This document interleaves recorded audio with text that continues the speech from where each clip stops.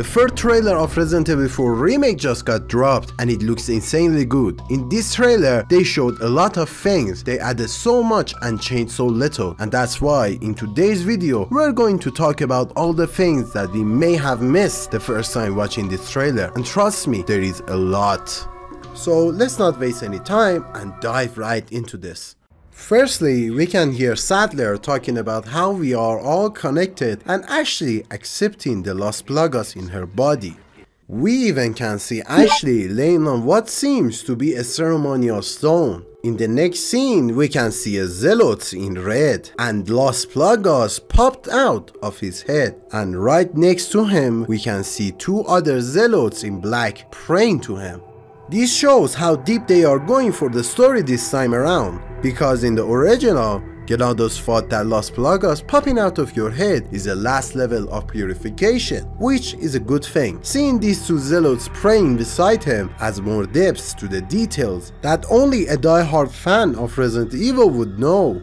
And now in this next shot, we got our first look at the underground segment. And I have to say, this time around it looks a lot tighter and scarier Speaking of scary, look at this shot of Plaga type C and how terrifying it is. If we look at the colors, we can see that Las Plagas this time is black instead of that fleshy color we got in the original. And I predicted that in my old video that I put it in my channel a couple months ago. But the other thing that got my attention is the HUD.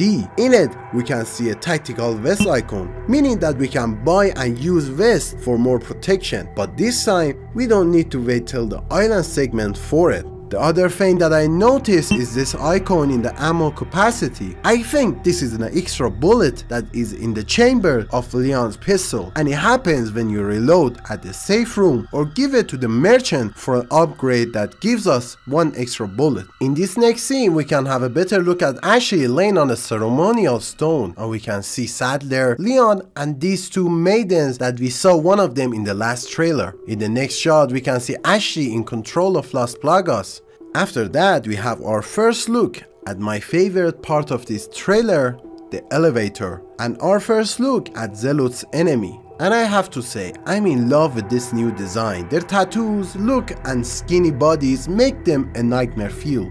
Here we got our first look at Plaga Type B, and I think it's scarier than the original, but this time you can parry it with your knife. Next we have our first look at the cannon part of the castle and in my opinion is very similar to the original and that's what we want from the game.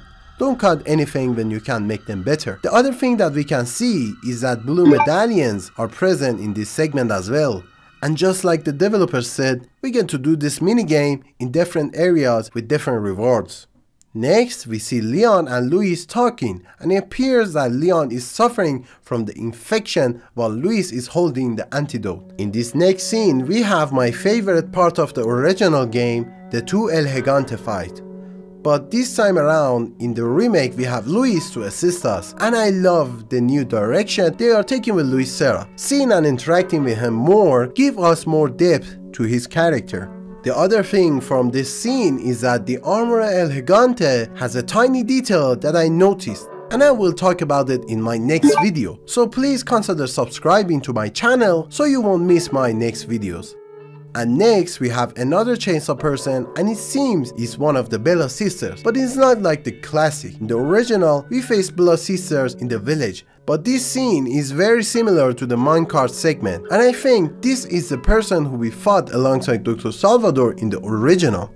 And in this scene we have our first look at Krauser and this time there is no quick time events. Instead, it's pure action and I love this and can't wait to experience it in the main game myself. And speaking of action, let's look at this suplex move in slow motion.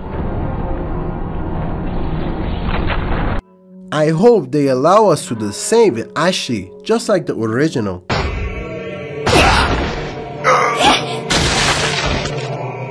And after that, we can see Ashley alone in her own segment and one of those armored enemies is looking for her. We can see the sword and Plaga popping out of his armor and seeing that gives me hope that maybe they didn't remove the giant Salazar statue and might still see it in the final game. In this next scene, we have our first look at Mike, the helicopter that saved us in the island segment in the original. And if we zoom in, we can see the island enemies are the same as original. And if we look closely, we even can see a stun rod in one of the Ganados. And here we can see that Leon is using an MP5, which is a new gun added to the remake. Then we have the minecart segment, which gone through some changes. This time we are with Luis Serra and not alone. We even can see Dr. Salvador on one of the minecars following us. And then we have a close-up shot of Saddler and he looks pretty mutated. And after that, we have this. And honestly, I have no idea what it is. Maybe it's a Novistador nest, but I'm not sure about it. And after that, we had our first look at Garradors, which they didn't change a single thing about his design, and I am happy about it.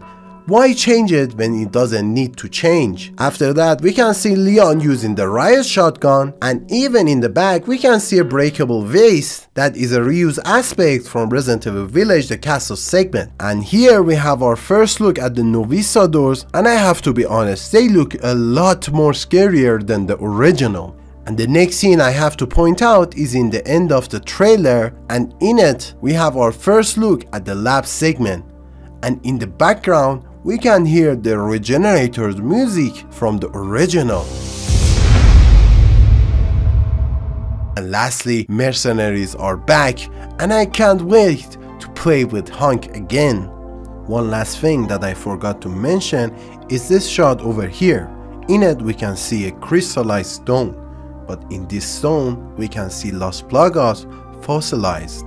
And that gives me a hint on how Salazar family restored the Las Plagas from beneath his castle. They found the Las Plagas fossilized and brought it back to life. And that's about it. All the things that we might have missed our first time watching. Thank you guys so much for tuning in. I hope you enjoyed this video. I'm Arshia and this is Red Herb. Thank you guys for watching.